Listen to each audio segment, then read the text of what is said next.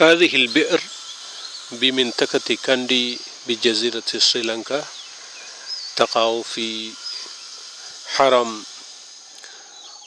كلية عربية مشهورة في سريلانكا تحتاج إلى ترميمها في أسرع وقت ممكن وتكلفة الترميم ثلاثة آلاف ريال سعودي تقريبا.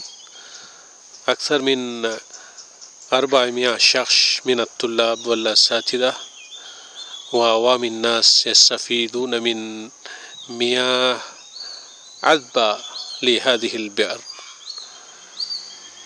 نرجو من المتبرعين الكرام والمتبرعات الكريمات أن يتقدموا بمساعدة مالية. جزاكم الله خيرا.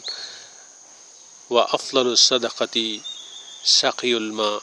كما قال الرسول صلى الله عليه وسلم.